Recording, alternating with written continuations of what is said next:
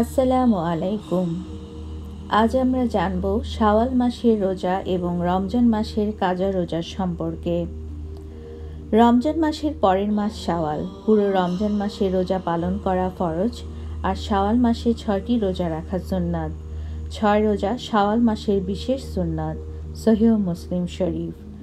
আল্লাহ তালা পবিত্র কোরআনে বলেন, যখন তুমি ফরজ দায়িত্ব পালন করা থেকে অবসর হবে তখন নফল ইবাদতের মাধ্যমে তোমার রবের প্রতি মনোনিবেশ করো। সুরা আল ইনশিরা আয়াত আট।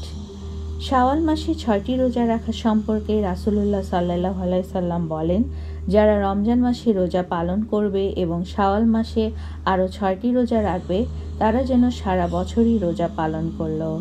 মুসলিম শরীফ, এক হাজার একশো চৌষট্টি, আবু দাউদ দু হাজার চারশো তেত্রিশ। শাওয়াল হলো আরবি বছরের দশম মাস। এটি পবিত্র হজের তিন মাসের মধ্যে প্রথম মাস, শাওয়াল, জিলকাত এবং জিলহাজ। এই মাসের প্রথম তারিখে ঈদুল ফিতর পালন করা হয়। পহেলা শাওয়াল সাদগাতুল ফিতর বা ফিতরা আদায় করা এবং ঈদের নামাজ পড়া ওয়াজিব। এই মাসের সঙ্গে হজের সংশ্লিষ্টতা রয়েছে। এর সঙ্গে সম্পৃক্ততা রয়েছে ঈদের এর সঙ্গে সম্পর্ক রয়েছে রোজা ও রমজানের এবং এর সঙ্গে সম্পর্ক রয়েছে সাদকা ও জাকাতের। তাই এই মাস আমল ও ইবাদতের জন্য অত্যন্ত তাৎপর্যপূর্ণ মাস। এক বর্ণনায় রয়েছে, প্রিয় নবী সাল্লাহ আলাইসাল্লাম বলেছেন, আল্লাহ তালা শাওয়াল মাসে ছয় দিনে আসমান ও জমিন সৃষ্টি করেছেন। সুতরাং যে ব্যক্তি এই মাসে ছয় দিন রোজা রাখবে, আল্লাহ তালা প্রত্যেক সৃষ্ট জীবের সংখ্যা হিসেবে তার আমল নামায় নেকি লিখে দেবেন এবং সমপরিমাণ গুনাহ মুছে দেবেন। শাওয়াল আরবি শব্দ।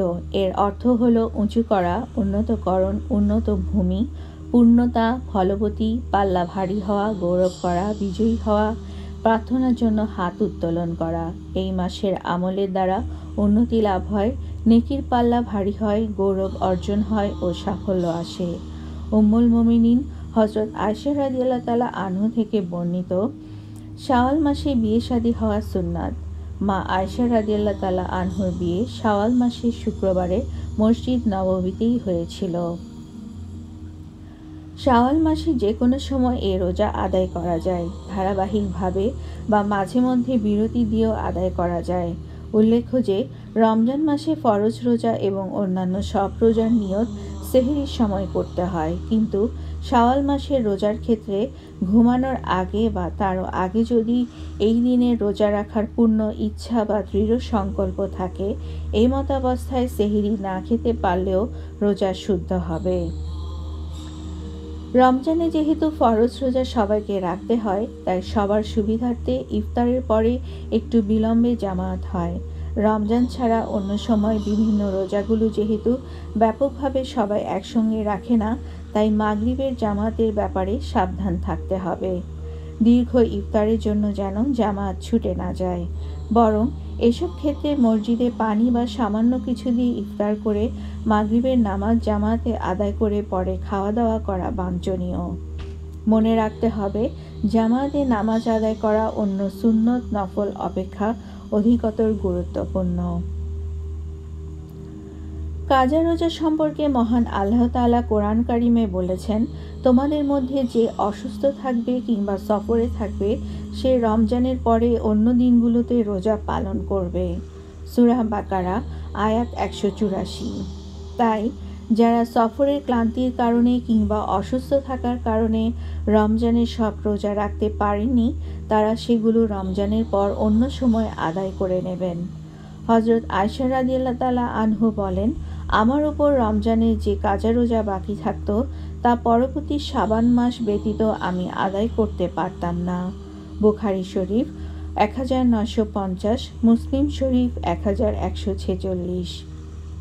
এই হাদিস দ্বারা প্রমাণ হয় রমজানের ছুটে যাওয়া কাজা রোজা পরবর্তী রমজান মাস আসার আগে যে কোনো সময় আদায় করা যাবে।